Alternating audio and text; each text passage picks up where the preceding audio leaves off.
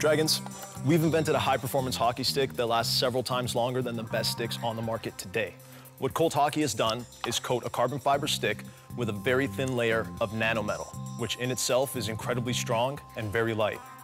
We actually have a demonstration here that will show you how strong the Colt is in comparison to an Elite composite. But before we begin, I have to hand out some protective eyewear, if possible. Yeah, good idea.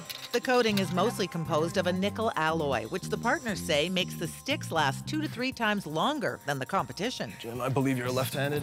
Here you are. Thank you so much. No problem. Colt hockey sticks retail online for $269. So Mario has in his hands a Elite composite stick. Let's see how it stands up against impact force. Don't break the net. Pretty well. Oh! Three times you're out. So now Mario has a Colt hockey stick. It's just as light and flexible as the previous composite, but let's see how it stands up against the same impact force. Might break the net, we're not sure. So as you can see, it's held up extremely well. Can I try on the net once? Absolutely. Sure. We'd like to invite a couple dragons down. Yeah, the vibration might get you. Oh! I know vibration, eh? That's good. That's impressive, guys.